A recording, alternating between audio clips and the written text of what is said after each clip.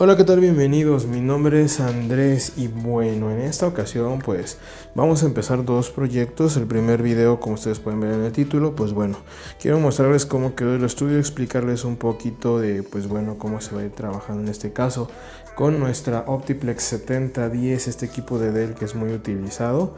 Sin embargo, pues bueno, también para aquellos que pues van a iniciar su canal o algo, pues si les gusta alguna especie de setup, pues aquí tengo ya donde tengo pues la mayoría de mis máquinas este, personales, por así decirlo, aunque pues personal, personal, pues nada más tengo una, pero pues sí mis equipos en este caso de trabajo. Entonces en este caso, pues bueno, mostrando rápido cómo quedó después del relajo que les mostré el video pasado, de hecho por ahí tengo uno de mis celulares. Y bueno, en este caso aquí sí tengo mi equipo personal, como verán, pues el cable no lo he ocultado, ese yo pensaba jalarlo de la parte de abajo para irlo poniendo, pero la verdad pues no veo que también sea este un estorbo, así hasta lo puedo desconectar bastante rápido.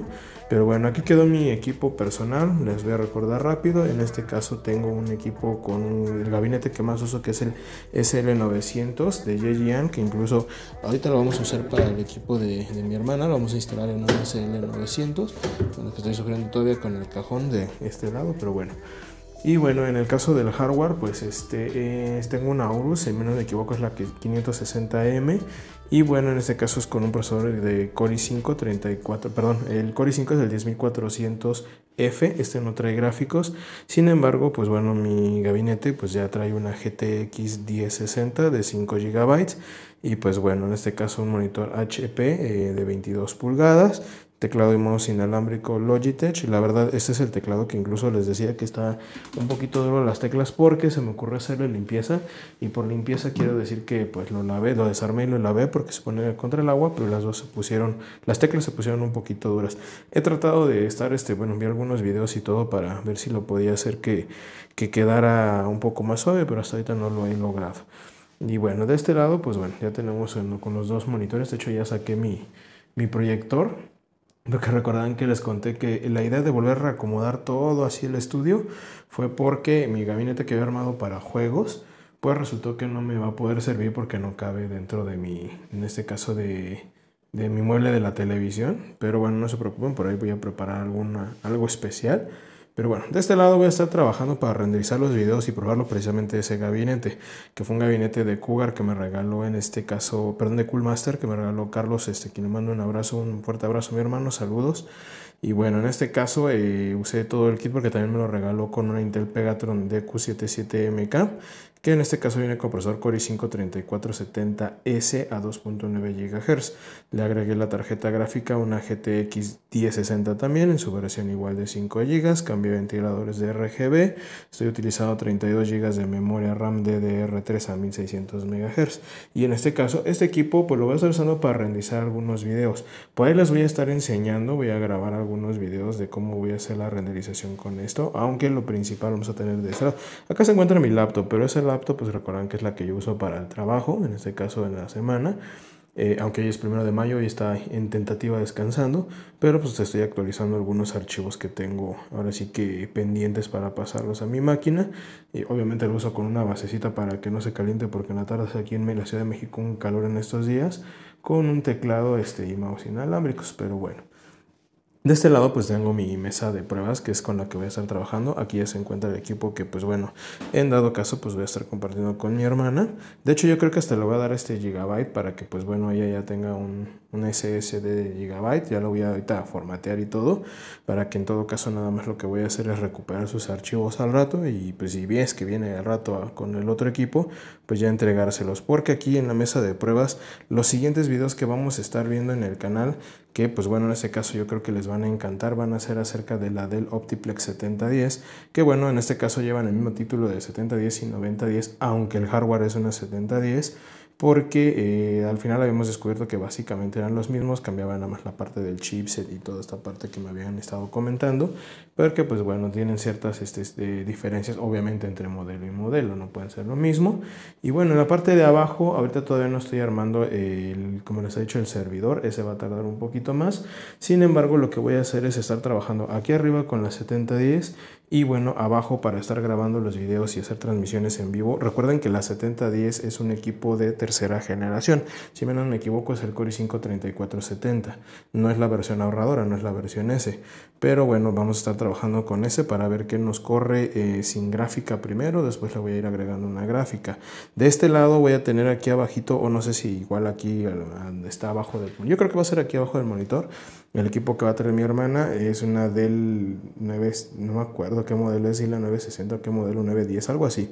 Pero este toman al rato que lo traiga, no se preocupen, ustedes en el título pues ya lo van a ver para que yo haya terminado este video. Pero bueno, eso va a ser nada más porque ese equipo lo voy a estar utilizando para eh, grabarlos en vivo y todo. Porque me voy a bajar hasta esa segunda generación porque tuve la ventaja de que mi hermana tiene ese equipo. Yo le voy a dar esta SS, SS, perdón, este caso es de Elite Group. Recuerdan que esta placa, pues yo les había comentado en videos anteriores que la pues vamos a estar probando, pero vamos a estar probando con mi hermana. Le voy a enseñar a grabar videos que ella empiece también a grabar videos con esta placa, la H310 CH5-M2. No descubrí, siendo sincero, cómo eh, actualizar el BIOS, lo estuve intentando durante todo el fin de semana. Tampoco le voy a dedicar muchísimo tiempo, digo, al final este no es un equipo tan comercial, es muy poco, pero pues bueno, en este caso yo nomás quiero ver la experiencia que tenga mi hermana. Lo bueno, la ventaja es que pues aquí tenemos algunos otros equipos, entonces realmente si no llega a ser resultado este proyecto, pues ya le entregaremos otro equipo y regresaremos esta placa para hacerle algunas pruebas. Hasta ahorita yo no quedé decepcionado, lo armé, como recordarán, este equipo es el que yo había armado como para pum, para los juegos porque lo iba a probar antes de entregárselo. Sin embargo, cuando yo lo conecté no me corrió ninguna tarjeta gráfica, no sé qué pasó. Al final la fuente de energía de esta es más, este, más, este, digamos que poder, no poderosa, pero sí es este, una TX, es que se me fue la bien, es más grande. Este, entonces obviamente pues debería dar un mejor funcionamiento que la que tengo para mi placa de pruebas, que de hecho está por acá atrás, que tengo una micro ATX de este lado, ¿no? Entonces realmente es algo pues un poco raro, pero pues bueno. Ahí te voy a dejarlo digamos que así para que pueda ir acomodando. Yo es realmente ahorita pues, la primera parte de este video que les traigo. Ahorita voy a grabar, de hecho, cómo voy a pasar. Ya acá tengo todo lo que va a ser para el gabinete de mi hermana. Lo voy a dejar un poco sencillo. ¿A qué me refiero sencillo? Aquí ahorita pues no le voy a poner este tanto ventilador o algo como hice con la mayoría de mis equipos, porque también es bueno de que los voy enseñando cómo van a ir armando su negocio para que ella también se pueda ir metiendo un poquito más y al final del día si ella le interesa esta parte, ella misma lo vaya haciendo, yo lo voy a ir grabando, también ella que lo vaya grabando. Voy a darle básicamente un hardware sencillo como viene su equipo de ella para que pues bueno más adelante ella también pueda ir haciéndolo, ¿no? Incluso voy a ver ahorita si la grabo haciendo en este caso el paso del hardware, si es así voy a retirar ahorita el procesador, digo sé que no tengo placas de novena generación, lo más seguro es que mejor para no errarla, nada más le voy a enseñar a poner la pasta térmica, no a quitar y poner ahorita el procesador, le voy a enseñar a poner y a quitar y poner el procesador con por ejemplo las Intel Pegatron que tengo un montón, las de DQ77MK, así tengo todavía un montón, pero pues bueno, este, por lo menos así si se daña el socket, eh, bueno, dañarse en el sentido que se puede doblar un pin, yo sé que se pueden reparar, pero pues bueno, en este caso es para que vayan viendo que ustedes, que lo puede realizar cualquier persona, nada más es con cuestiones de hacerlo con calma, eh, no necesariamente que te dediques a practicarlo, te repito, este, yo ahorita, eh, pues mi hermana no se dedica a esta parte, entonces el único malo de los, este, en este caso LGA, es eso, que los pines vienen en la motherboard, no en el procesador, como anteriormente, o los PGA, ¿no? que en este caso son los de AMD. Pero pues bueno, eh, de todas formas, pues bueno, ahorita yo creo que voy a ir adelantando este tipo de videos. Espero que les haya gustado como pues dice una medio ordenado. Ya de acá atrás aquí voy a poner yo mi sillón, pero estoy todavía en ese proceso. En toda la pared de acá todavía me falta ponerle lo de proyectos Tesonco. De hecho, vean cómo se ve chistoso el RGB que está todavía atrás del gabinete. Mi idea es poner todavía una tira LED todo alrededor, todo alrededor, todo alrededor. Pero pues bueno, vamos a ir paso a paso y pues bueno, ahorita también voy a ir empezando los videos para ustedes. Digo, al final yo sé que todavía les debo los cursos, les debo un montón de cosas, ¿no? Porque tenemos los cursos. Lo bueno es dedicarle también tiempo a la familia. Recuerden que si ustedes van a dedicarse también a la parte de youtuber, pues digo, yo sé que la mayoría que vayan a empezar con todo este mundo pues están jovencitos o algo. Para aquellos que ya no lo estamos tanto, pero pues, yo prefiero dedicarle un poquito más de tiempo a la familia, ¿no? O incluso le pongo más prioridad a las cosas del trabajo, obviamente, porque al final ahí es un sueldo ahorita para mí este, fijo.